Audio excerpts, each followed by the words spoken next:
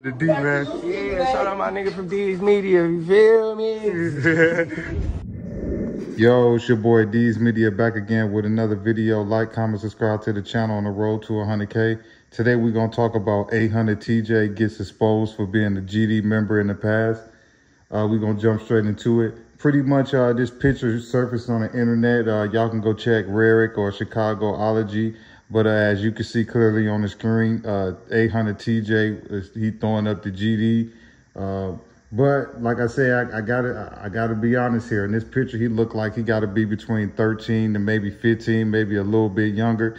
Uh, the area that they say allegedly that he from the Burnside community in Chicago, as you can also see on the screen, uh, is mainly a GD area. So maybe because that's who he was around in that area and maybe he moved to 800 later on in his life and you know maybe that's why he switched or maybe some incident could have happened and you know that's the reason why he ain't GD no more. But definitely the area that they say he from Burnside community in um, uh, Chicago as you could clearly see on the screen it is a, a GD neighborhood. Uh, but like I say um,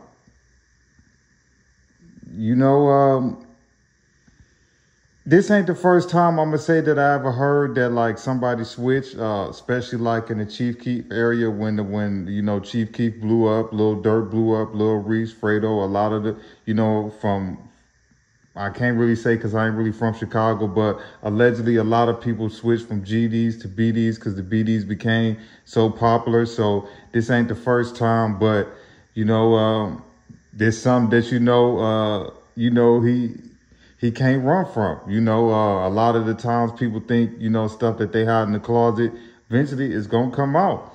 And as you can see again from this picture on the screen, he throwing up GD. The hood that he, he allegedly from, you know, uh, he throwing up GD. You you know, it, I mean, but like I say, in this picture, clearly you can see, man, he looked like a little, he looked like a kid still, you know. But um, some type of way. Uh, they say 800 Fatz is the reason that he came over to, to 800. You know, um, I seen him a lot with OTV. Uh, they mainly uh, be in like the Dearborn Home projects and stuff like that.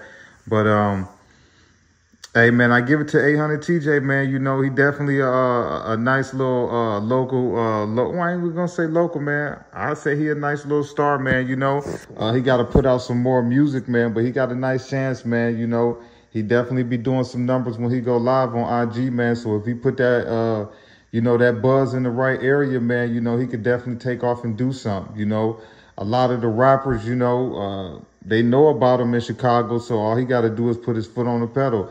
But um, it's your boy Dees Media signing out. But as you can see from the picture on the screen, man, 800 TJ, man, man, he used to be GD. But it's your boy Dees Media signing out. Y'all let me know in the comment section what y'all think. The D man. Yeah, shout out my nigga from Dees Media, you feel me?